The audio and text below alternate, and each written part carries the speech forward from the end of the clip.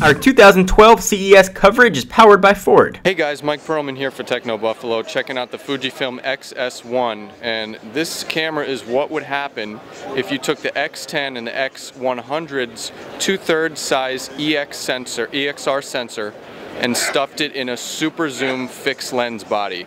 This thing actually has a an f2.8 wide angle um, 26x optical zoom and that thing is fierce and it's very smooth. Fujifilm actually um, adopted their high quality Fujinon lens brought down from their broadcast series. So it's, it's greased, it's super smooth.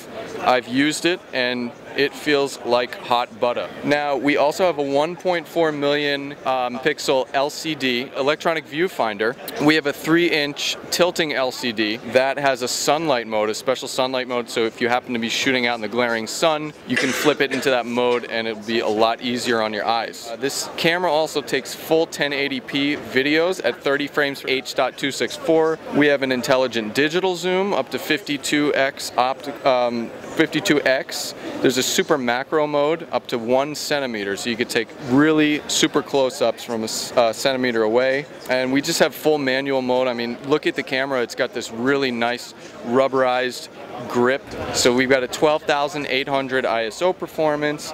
Um, so this camera, if you're looking for one of the ultimate, ultimate fixed lens super zooms, the Fujifilm XS1 might be the answer for you. The Mustang's 4.4 inch message center with track apps will log performance data for drivers, including acceleration times, braking times, and G-forces. It features both a countdown start and automatic start. All of this is displayed in the Mustang's message center, found in the cluster.